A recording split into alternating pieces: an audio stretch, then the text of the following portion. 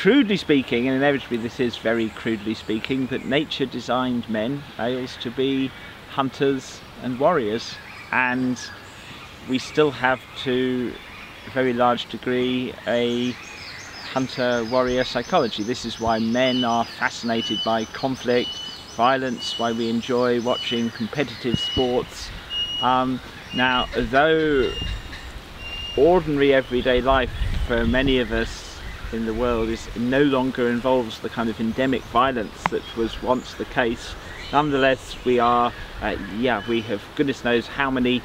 deaths one will witness on screen in the course of a lifetime. One enjoys uh, uh, violence and quite frequently men being very nasty towards each other, competing against each other. Um, do we want to perpetuate this,